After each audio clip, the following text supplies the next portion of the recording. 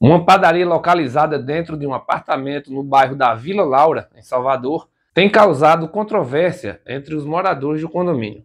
Enquanto alguns se beneficiam com a praticidade de ter um comércio no local, outros reclamam do barulho e da ocupação dos elevadores. E o desenrolar desse moído aí você vai ficar sabendo a seguir.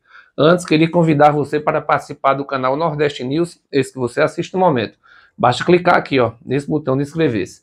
Fazendo isso e ativando também o sininho que fica logo ao lado do botão, você ajudará o NE News a crescer e, em contrapartida, vai ficar por dentro de tudo que acontece na nossa região. Agora, depois daquele like bacana, vamos falar mais sobre o caso que vem dando o que falar na Bahia.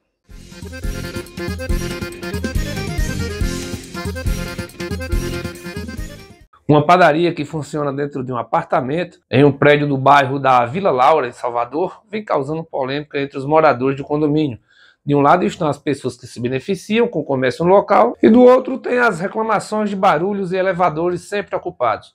O comércio dentro do apartamento residencial não é permitido pelas regras do próprio condomínio, que chegou a apresentar alternativas para as vendas no próprio prédio. Mas os donos do comércio não aceitaram. A Prefeitura de Salvador notificou o imóvel, mas o serviço não foi interrompido.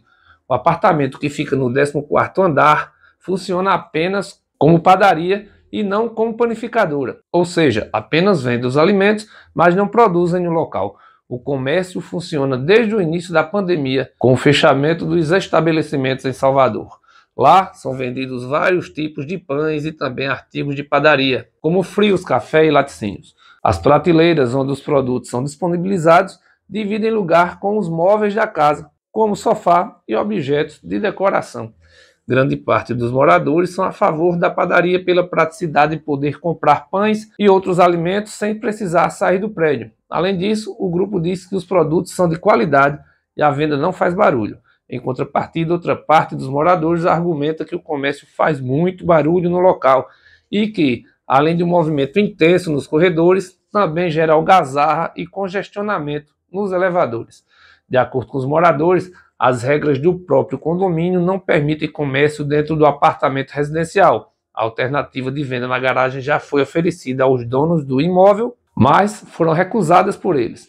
A padaria no apartamento vira o caso de justiça, mas ainda não há uma decisão sobre o caso. A Vigilância Sanitária informou que realizou duas inspeções dentro do apartamento e que notificou os responsáveis para que regularizassem a situação do AP.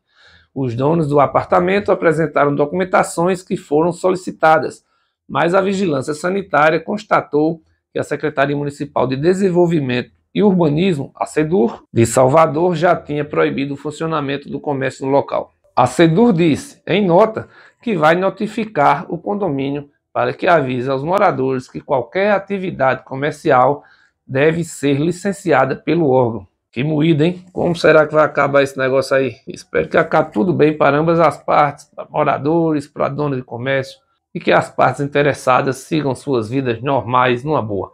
Valeu, obrigado a você por ter ficado comigo nesse vídeo até o final e até a próxima informação.